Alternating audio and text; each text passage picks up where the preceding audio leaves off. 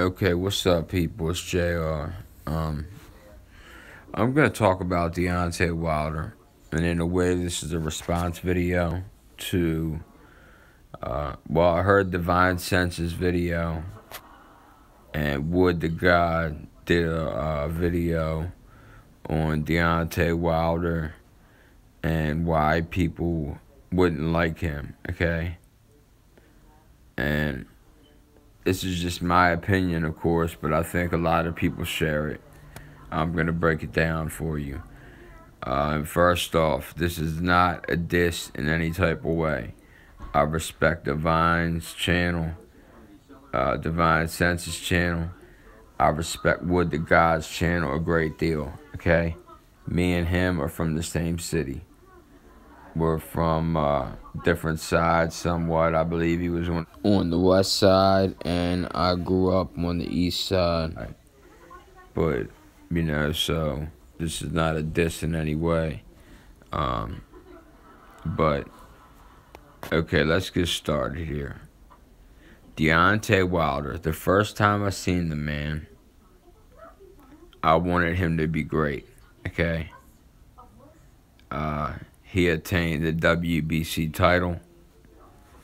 And I said to myself, okay, this is when he's going to take a step up. Deontay Wilder has never took a step up in fighting. Okay? He's knocking out bums. This is the reason why I don't uh, fuck with him. Okay? Now, I want him to do good. He does not push himself to greatness. I want to see greatness. I want to see fighters attempt to be great. Is there anything wrong with that? You know? Um, I would like to see Deontay Wilder knock out Anthony Joshua. But because Deontay Wilder has chosen to fight or maybe he's not chosen them. I believe Al Haymon has chosen these fighters for him, and uh, it it makes him look very bad, very bad. Okay, just let me read some of these records to you real fast. While Wilder should have been uh, climbing up the ladder that a prospect is supposed to climb he has been wasted by fighting fighters with records like uh, Harold Scannell, who was 7 and 20, Dan Shannon, who's 11 and 38. Then the fight before Bermane Stiverne. The fight before Bermane Stiverne. So mind you, he was a heavyweight champion. Took on some bum I can't pronounce who was 25 and 16. Once again, we are not talking about a fringe contender. We're talking about a WBC titleist, so called world champion, who's 37 and 0 with 36 knockouts, okay? Now, Divine Sense on the American thing uh, I don't support Russian athletes. I don't support um, fighters from overseas. I don't support United States fighters. I want to see a good fight. I want to see um, competition. I want to see Wilder test himself and try to be great, okay? When Deontay first stepped on the scene, yes, I was a fan of his, okay? Because, like, back to Divine Sense, alright? I don't back U.S. fighters, but a fighter like Deontay Wilder, if he came on strong and did what he should have done, of course I'd be supporting him and supporting him more because he is from the United States, okay? Just like I was a Mike Tyson fan. But Mike Tyson unified the belts, okay?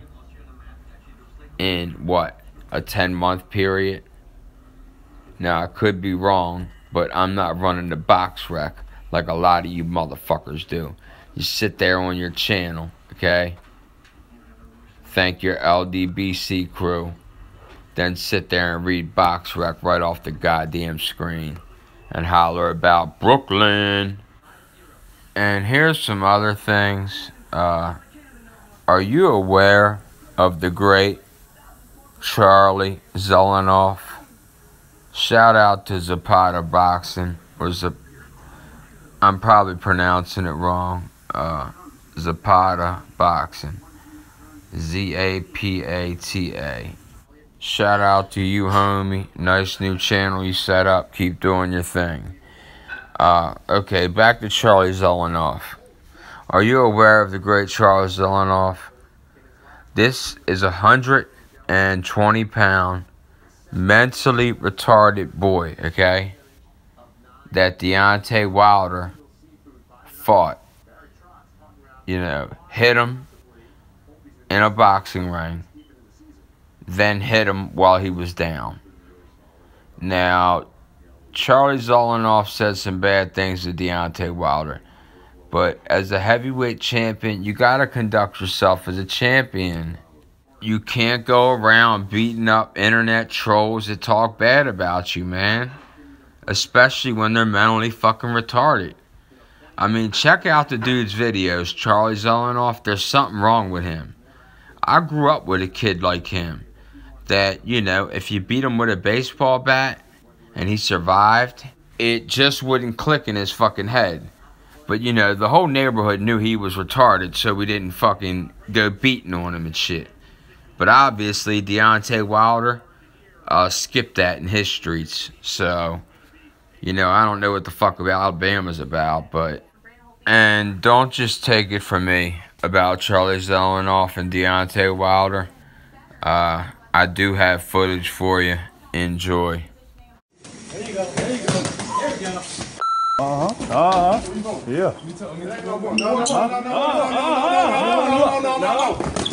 Yep, yep, yep, yep. All right, all right, all right. Done. He's done. He's done. done. That's it. Keep it that. He's done. He's done. You done? Get up. I'm gonna get ready. You ain't gonna mess with nobody else. All right, man. All right. Get up. He's done. He's done. Done. Nah, get up. You about to make me mad now. Get up. Get up. Get up.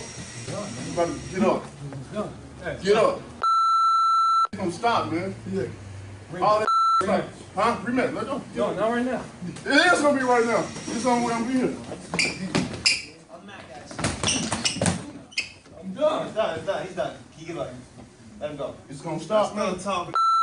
Huh? Don't you ever.